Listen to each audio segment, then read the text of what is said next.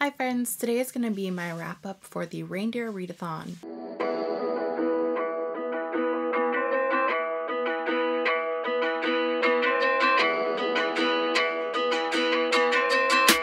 Talked about the Reindeer Readathon. It was one of the first videos that I did in December for Advent, and it is a month long readathon, and it was hosted by Eric at Breakeven Books. I'll link his channel in the description box down below if you'd like to check him out and subscribe to him because he has con fun content all year long, but also does the Reindeer Readathon yearly. Will he do it next year? I don't know, but I hope so because it's fun and I like to do it. So, if you want more information about him, you can check it out down below. I definitely read more books than just for the Reindeer Readathon this month because I also did Tis the Seasonathon and some of my books overlapped but not very many. So there's a lot of books that we're going to talk about today. The ones that I talked about in the Tis the Seasonathon wrap up, I will send you in that direction and also that will be linked in the description box down below. And then we'll go over the ones that we haven't talked about yet. For the readathon, I read 10 books with an approximate total of 2,755 pages. And when we get to the final book, you'll know why it's an approximate number of pages. So the first book that I read was for the prompt of Blitzen, and that was Killers of a Certain Age by Deanna Raybourn. I gave that a 3.25 out of 5 stars. This book follows a group of four women who are in their 60s.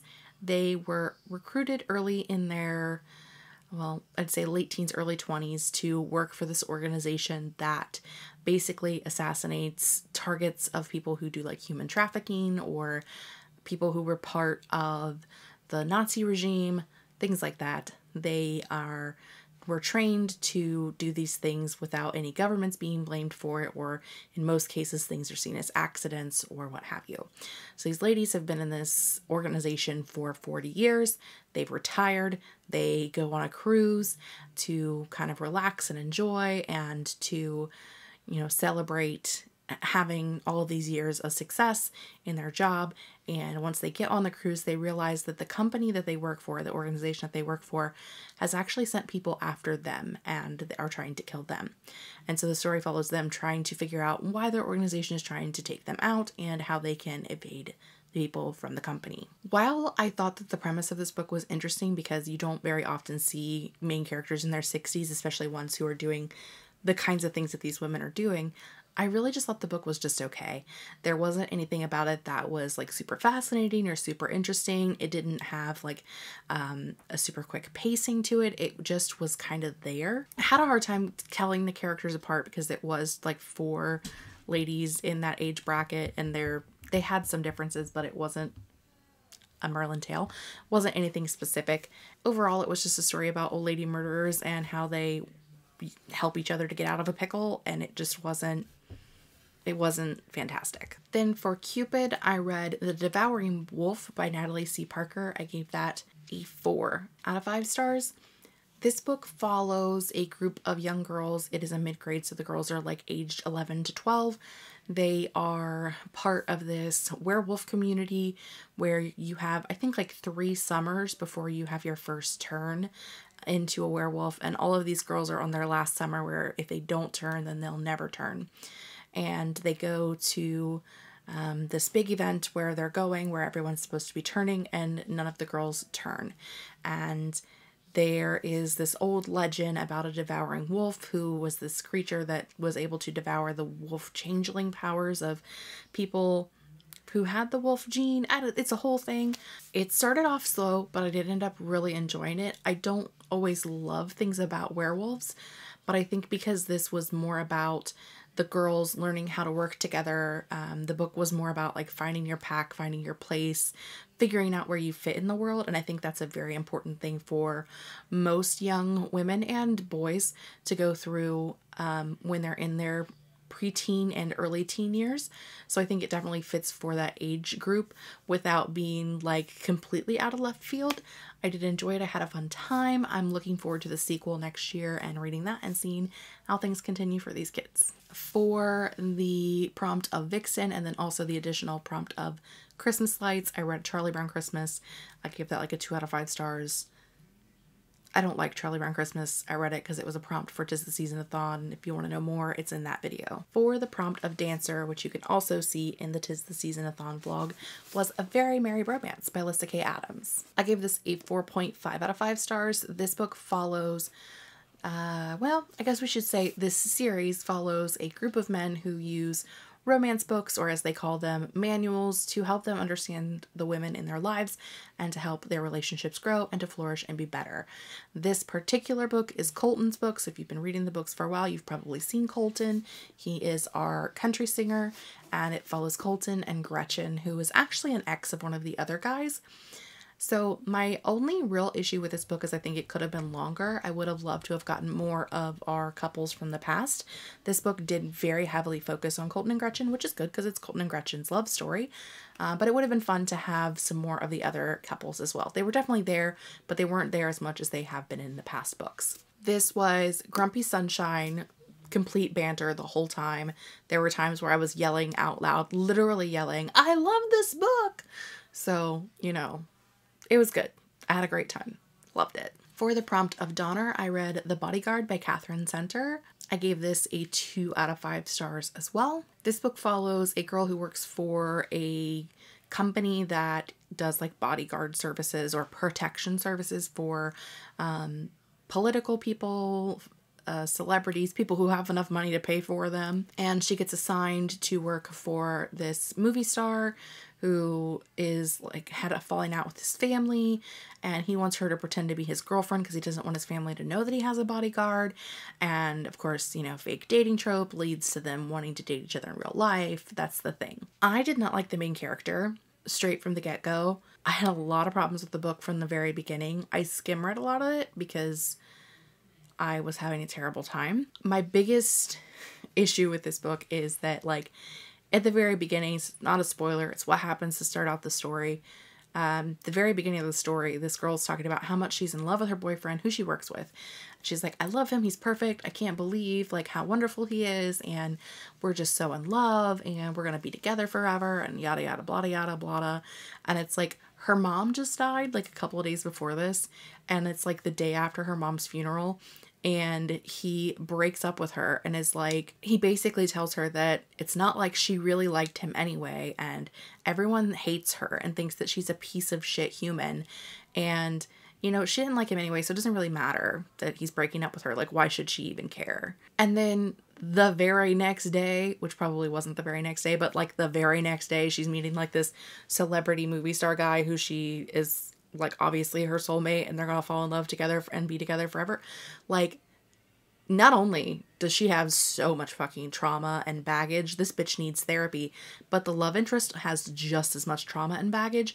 There is some serious therapy that needs to happen. I'm not saying these people don't deserve a happily ever after at some point, but it should not have happened in the time frame within which the book took place.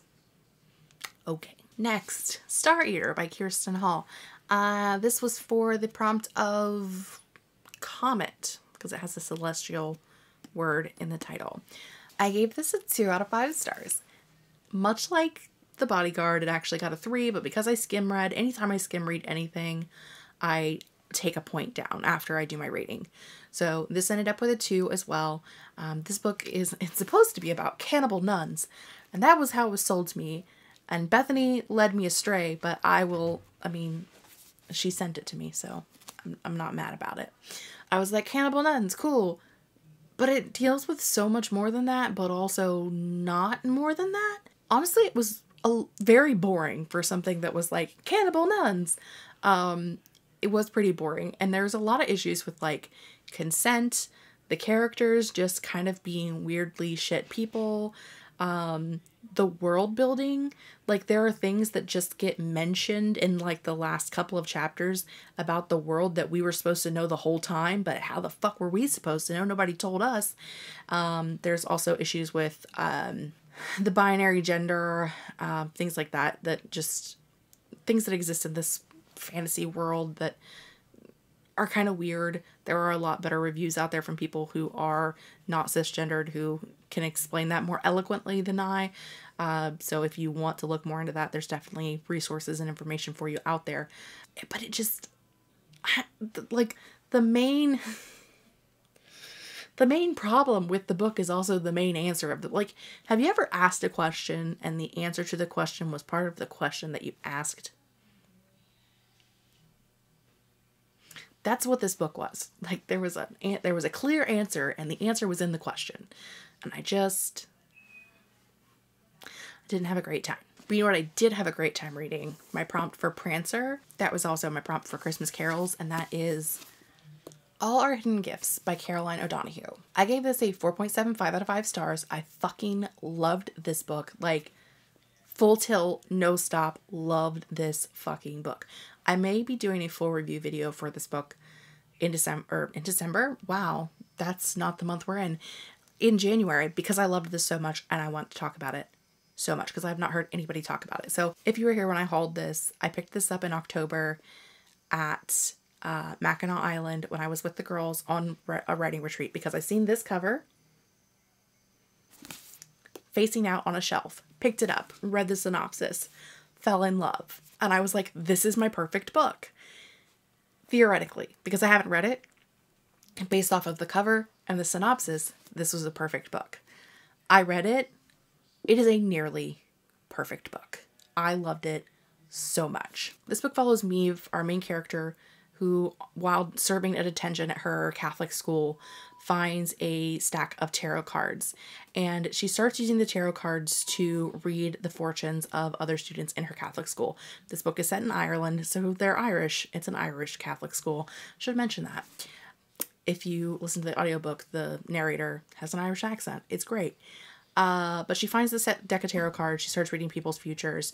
Um, things kind of seem to be working in her favor, and she ends up reading the fortune of her, or the future, the fortune, whatever you want to say, of her ex best friend, who she has kind of. That was Merlin trying to dump on a desk and failing miserably. Um, she has really done a lot to kind of push herself away from this ex best friend of hers because she's uncool and she wanted to be part of the cool crowd, you know, shit we all do when we're in high school. And so she tells her fortune, and the next day the girl goes missing. So once Lily, the ex best friend, goes missing, Maeve pairs up with Fiona and Roe. Roe is Lily's brother, and Fiona is a friend that Maeve has made since she started doing the tarot readings. And they search for Lily and try to find her throughout the book. And the book is kind of about discovering Lily and figuring out where she's at. And it sounds so light and fun. And yet, uh, this book has a lot of discussions and topics on things like homophobia, racism, um, just the way that, you know, you, when you're raised and your parents want you to be a specific way and you're not the way they want you to be. And there's a lot of things in this book, this really deep topics that this book touches and handles. There are two on page hate crimes that take place in this book, and I did do a full, like, spoiler list of um, what happens during those two hate crimes if you want to look that up before you pick up the book. And I also have a list of caution warnings on my review, which I, the review will be linked down below. But it does deal, again, with homophobia, and there is a lot of things in here, but it really is. It talks about so many things that are important to our teenagers in modern day, and how this book does kind of make it seem like um, the magic is the reason for the hate in the world. But our characters, Fiona and Roe, definitely point out to Maeve, like, the magic didn't make the hate. The hate was already here. The magic just makes people like me, who look like me and Maeve, um, see the hate. People who are not necessarily othered by society because we're cis and het and white. And so the magic is what makes us see the things that other people had to live with on a regular basis. And it was a very interesting topic and like the way that it was worked into the story and I it, I fucking loved it. Like this is one of my all-time favorite books. It's so weird for a book I've never heard anyone talk about on booktube and i cannot shout about it enough. It's also witchy and creepy and deals with like a fucking swamp witch on a card. Like it is it's so it's so much. Like it is everything. Like it is fucking creepy and witchy and fun but also all of the hard topics. And i just i fucking love this book clearly as we're still talking about it. For Prancer, I read the first volume of The Chilling Adventures of Sabrina, gave it a three stars. It's fine. I didn't love it. Um, mainly for me, I didn't love the art style. That's not a knock at the artist because they clearly are doing shit I can't do, but it's not my favorite. So probably won't continue on with that series, but I was interested to kind of see what it was um, before I like decided if I wanted to watch the TV show or not. Um, but I'm still not sure where I'm at with that. And then for the Dasher prompt and the Christmas Star prompt, I read Crooked Kingdom by Leigh Bardugo finally. I think I read Six of Crows in 2020 or 2021. One of the two, don't know which. Uh, finally made it to this beefy baby. I gave this a 3.75 out of 5 stars. If you don't know, and I don't know how you've made it on BookTube this long, and you don't know, the Six of Crows duology is set in the same world as the uh, Grishaverse trilogy, which is the Shadow and Bone saga. They've changed the name of it. Whatever uh, set in the same world. This takes place mostly in Ketterdam. Um, though the first book, there's more traveling. Anyway, it's fine. There's six people who are skilled in specific things like uh, weapons, science, being really good at telling lies and breaking into things, magic, whatever it is that the Wraith does. I don't know. That bitch can scale walls with like her fingertips. I don't know. She's got like Spider Man powers. But whatever the fuck, I think Matthias has just got size on his side. I don't know what his skill is. I don't know. Anyway, I don't have enough brain power right now for this. My point is, there's six people. They make this great group of six people who do some fucking shit. I I feel like I should have liked this more than I did, as much as like all of my friends have loved this duology and this book in particular. And I liked it, but I didn't love it. I think that it was far too long and the pacing was a little all over the place. I loved the characters and I love the world building. I think they are fantastic. But my my biggest issue is with this series and this book in particular when you're getting Kaz's schemes, like we get to hear Kaz's schemes on page. And so not always all of the scheme, but we get to hear the scheme on page. And so then they go to run the scheme, and then something always goes wrong. But then we learn that Kaz had planned for it to go wrong, and everything's actually going the way that he had originally planned, so everything's going to be fine. And that happens like 43 times in this book. So by the time we get to stuff where things aren't actually all going to be fine, I don't even, I'm not even, I'm like, it's, it'll be fine, it doesn't matter. Like, there is legitimately a character death in this that really just didn't ever fully impact me because I was just waiting for the turnaround to come because it happened so many times. Like it was just this repetitive pattern over and over and over and over and over again in the book. And so I just got to this point where I was like, A, I can't trust Kaz, which you can, and B, everything will be fine in the end because it always is. And so it's like when you have a character death that doesn't impact you, and I know that that's not the case for everybody, it definitely impact, impacted other people in other ways. It just didn't really hit me that much because I was like, it'll be fine. And so when I found out it wasn't fine, I was like, oh, well, now I feel lied to again. So it was like, it just, I don't know, it was a really weird thing. I just felt like things were too stakes free feeling throughout the book. I don't know. I, it it doesn't make any sense. I grasp the concept that it doesn't make any sense, but it's the only sense that I can make. I liked the duology. I enjoyed it. I plan to continue reading this next series.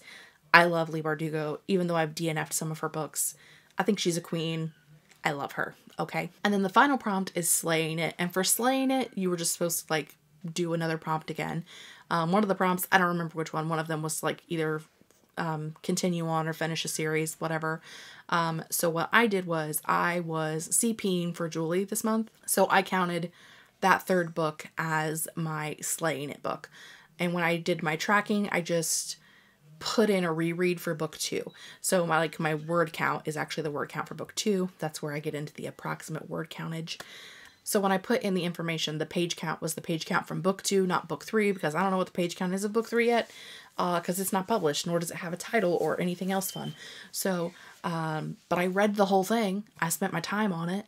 So I wanted to use it for a prompt and I wanted to log it. So I logged book two instead of book three. That's what I did. Okay. These are some of the books that I read during the Reindeer Readathon. That is all I have for today. I post reading, writing, book, and planner related content a couple times a week. If you don't want to miss anything I have going on in the future, make sure you hit the subscribe button and the notification bell down below. And until then, I will see you guys next time. Bye.